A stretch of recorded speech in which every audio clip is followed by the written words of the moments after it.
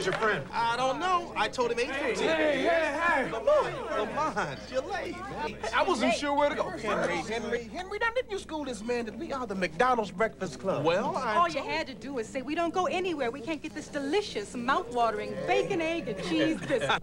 Or this egg McMuffin. And you would have known, right, Lamont? Right, but... You should have just told him our Breakfast Club motto. Which is? We only come to order at McDonald's. Oh,